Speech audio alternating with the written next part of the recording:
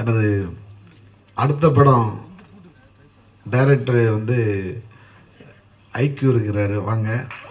அடுத்தது இன்னொரு படம் ஆதிக் ரவிச்சந்திரன். இப்போ கொஞ்சம் என் கூட வாங்க நீங்கள் இங்கே. நாங்கள் ட்ரிபிள் ஏ வந்து கதை அருமையான கதை தான். சூப்பரான கதை. ரொம்ப எனக்கும் அது பிடிச்ச கதை. ஆனால் எங்களால் எடுக்க முடியாமல் போச்சு. அது ஒன்று தான் தப்பு. அதனால் ஒண்டர்ஃபுல் டைரக்டர் நான் சொல்ல மறந்துட்டேன் அவரை பற்றி அதனால தான் வந்து அவரை வச்சு நம்ம நாங்கள் அடுத்தது உடனே ஷூட்டிங் போகிறோம் அடுத்தது இமிடியேட்டாக நாங்கள் போகிறோம் ஐக்கிய வச்சு அடுத்த படம் பண்ணுறோம் அது இன்னும் ஒரு சில நாளில் அஃபிஷியலாக அது ஹீரோ மற்ற குருலாம் அவங்களே பண்ணக்கூடாது. நான் இப்போ அறிவிக்கக்கூடாதுன்னு சொல்லி அதை சொல்ல வெயிட் பண்ணிட்டு இருக்கிறேன். அவங்களே அறிவிப்பாங்க. ட்விட்டரில் எல்லாமே வரும். மிக டூ ரெண்டு மூணு நாளையில் உங்களுக்கு அது சரியான அறிவிப்புகள் வரும். நன்றி. டக்குன்னு முடிச்சிடுறேன். ஃபஸ்ட்டு வந்து விஷால் அண்ணாக்கு ரொம்ப ரொம்ப நன்றி. எத்தனை பேர் இப்படி சொல்லுவாங்கன்னு தெரில ரொம்ப ரொம்ப நன்றிண்ணா. ஸோ அதிகமாக பேசல ஒரே நிமிஷம் மட்டும்தான். மைக்கேல் சார் வந்து அவரோட கேர்ள் ஃப்ரெண்ட் மாதிரி நான் கிட்டத்தட்ட ஒரு ரெண்டு வருஷமாக அவர் ஓடியே இருந்திருக்கேன். அதிகமாக ஒய்ஃப் கிட்டே அவர் பேசுகிறது என்கிட்ட தான் பேசியிருக்காரு நிறைய. கிட்டத்தட்ட ஒரு ஆயிரம் தடவை பேசிகிட்டே இருப்போம். என்ன பேசுகிறோன்னு எங்கள் ரெண்டு பேருக்குமே தெரியாது பட் பேசிக்கிட்டே இருப்போம். ஸோ போன படம் சாருக்கு வந்து எதுவுமே அமையலை. ஸோ இந்த படம் மூலிமா வந்து உங்களோட கஷ்டங்கள் காசு பணம்லாம் செகண்டரி பட் பெயின்ன்ற ஒரு விஷயம் வந்து ரொம்ப கஷ்டம். அந்த பெயின் வந்து லைட்டாக ஆறிட்டு இருக்கு இந்த படம் மூலிமா மொத்தமாகவே உங்களுக்கு ஆறிடும் சார் ஸோ அதுக்கான எல்லா ஒரு விஷயமும் வந்து ஆஸ் அ டேரக்டராக நீங்கள் புது டேரக்டர்ஸ் நிறைய பேரை என்கரேஜ் பண்ணி கொண்டு வந்திருக்கீங்க.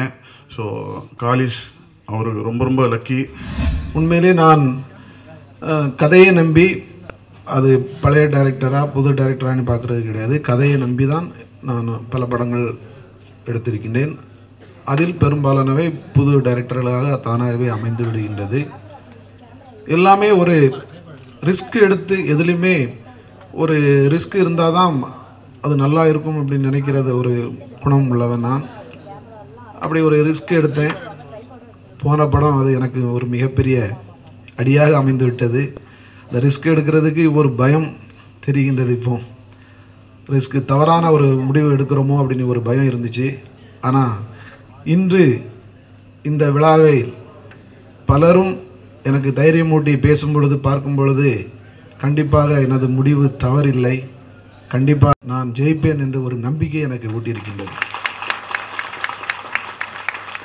இவ்வளோ பெரிய நான் பிரச்சனைகள் இருக்கும் பொழுதும் தலைவர் அவர்கள் என்னோடு இருந்து கண்டிப்பாக நான் உறுதுணையாக உங்களுக்கு இருப்பேன் என்று ஒரு மாதத்திற்கு முன்பு உறுதி கூறினார்கள். இன்று அந்த மேடையிலேயும் அதை உறுதிப்படுத்தியிருக்கின்றார்கள். எந்த பிரச்சனையானாலும் இந்த படத்தை நான் முன்னின்று ரிலீஸ் செய்து தருவேன். அதே மாதிரி அவருடைய படமும் இதே தேதியில் தான் முதலில் ஆடியோ ஃபங்க்ஷன் வைப்பதாக இருந்திருக்கின்றார்கள். அதை இப்பொழுது எனக்காக அதை மாற்றி வைத்திருக்கின்றார்கள். அதை ரிலீஸும் அதே மாதிரி பிப்ரவரி ஒன்பதாம் தேதி தான் அவர்கள் முடிவு செய்திருக்கின்றார்கள். இந்த படத்திற்காக அதையும் அவர்கள் மாற்றி வைத்திருக்கின்றார்கள்.